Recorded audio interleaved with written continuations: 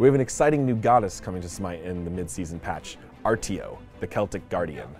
Artio is really unique because she's going to be a true stance switcher, changing between her druid form and her bear form. We haven't had a true stance switcher in Smite in a long time, and we're really excited to see how she does in the current meta.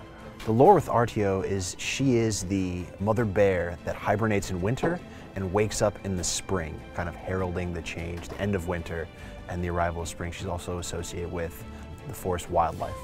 So when playing as Artio, you'll be able to switch between her druid form and her bear form, using her fourth ability, which is in place of an ultimate for a normal stance switcher. As a druid, you'll see that she has a little bit more energy-focused abilities around some healing and some buffing and debuffing. Um, whereas in her bear form, she's going to be a little bit more violent and aggressive.